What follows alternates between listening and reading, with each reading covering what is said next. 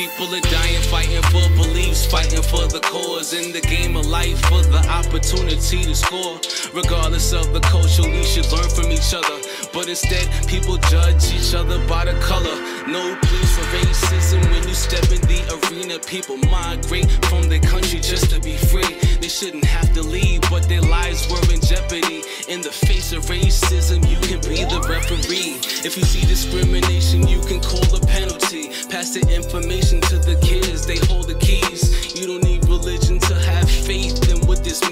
could bridge the gap in between each other's dreams. They're violating rules, displaying inappropriate behavior, depriving all the information in schools. Foul play,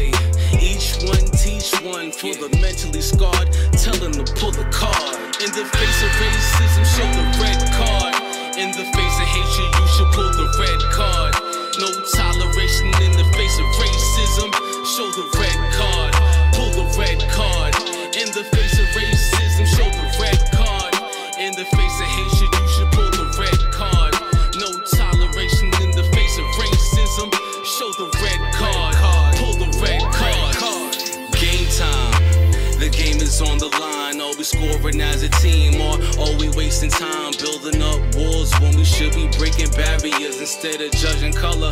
We should judge the character, make the world a better place for the boys and the girls. Take the action cause the action speaks louder than words. Words hurt certain feelings on this artificial turf. Use equipment for protection for what it's worth. Outrageous situations, people are put in cages. Different sexualities are separated from hatred. Calling stand for equality by taking a knee. When we feel something's wrong with the place that we see. If you don't stand for something, then you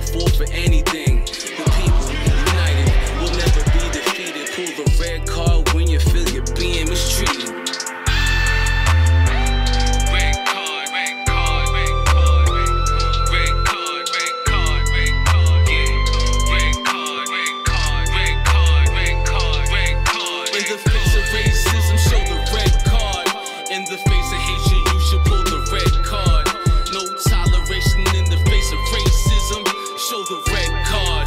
Pull the red card. In the face of racism, show the red card. In the face of hatred, you should pull the red card. No toleration in the face of racism.